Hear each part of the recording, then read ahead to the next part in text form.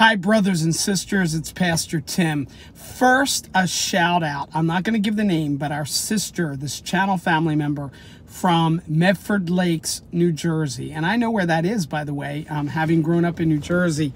Sister, I got the box today with those items for the babies in need. Thank you so much. And even for my little grands. That was so precious. You bless my heart. So, I will be actually, um, this week, there are a few deliveries to crisis pregnancy and to those in need. So to anybody, um, you can give or, or whatever, but I just wanted to give a shout out to that sister. Got that. That was just, you really blessed me with, with that. And oh, praise God that we get to make a difference in the lives of babies. Well, anyway, I want to get to topic. We've all known for some time that there are FEMA camps. If you don't, you can Google it, you can look it up.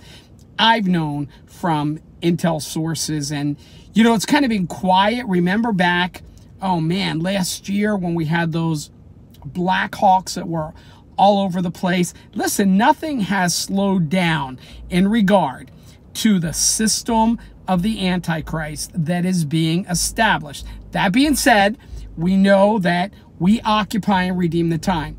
This is what's interesting, and this is coming out. Even some alternative news sources are talking about now with the coronavirus. Um, I know, right, the base in California, even where they brought in those folks from Wuhan. There are, they're, they're even acknowledging, uh, they're coming out now. It, it's becoming more and more um, open. the, the, the beast system, the globalists, they, they're coming out and they're saying, oh yeah, we have a camp ready. We, we have a FEMA location ready if needed for this. It's fully supplied and they're trying to spin it as a good thing. Brothers and sisters, I firmly believe that this is setting up for where they will round up and house the believers post the rapture of the church. And if you don't know this already, um, I may, there, there's a couple things I want to get on later tonight and do a, a mini Bible study on a question that several have asked. I don't want to do that rabbit trail now. If you don't know what's going to happen post the rapture, well, you don't want to be here for it.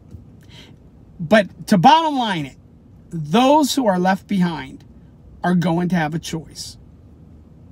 Believe on the Lord Jesus, and they will most likely lose their life because if anyone takes the mark of the beast that's in their right hand or on their forehead, they will lose their heads. They will lose their life. This is what the Bible clearly states. And I know some people get crazy when I share that kind of information, but it's biblical truth. That's what the Bible says. And that day will come. And I believe in our lifetime, I believe that the rapture is in fact imminent. Everything that needed to happen according to biblical prophecy for the rapture of the church has already occurred. And there is coming that day and it's coming very soon. And those who are left behind. How can you not be left behind? Admit you're a sinner in need of a Savior and believe on the Son of God, God the Son, having always existed. Left glory, laid down his glory, wrapped in flesh, was born of a virgin, lived a perfect life, never sinned, and shed his precious blood on the cross of Calvary to pay the debt for our sin once and for all, past, present, and future he died, was buried, and on the third day rose from the dead. The ABCs of salvation is in the description box. So there are things happening, but I wanted to share with you. Several sources have told me that this is this is truth. And now I, am seeing people are telling me that it's coming out on other alternative news sites that in fact in California, authorities are acknowledging they have a FEMA camp prepared and ready. And again, they're tying it to the coronavirus or an epidemic like that, a pandemic.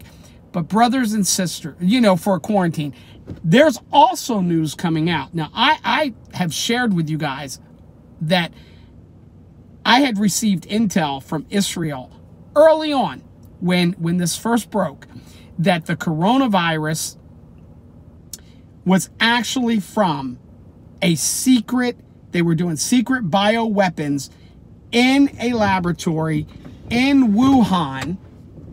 And then the Lord gave me a vision confirming that it in fact was bioengineering and that kind of weapon and also it's tied to 5G and I so I firmly believe it and so wow things are moving so quickly and now we're here I mean they're not even hiding it when you look on the global scene these globalists are not even hiding they're coming out with it I, I saw um, our dear brother, street preacher, God's messenger. Hey, bro, I love you. I saw your video as I was um, driving. I, I had it playing. I, I didn't see it actually. I was listening.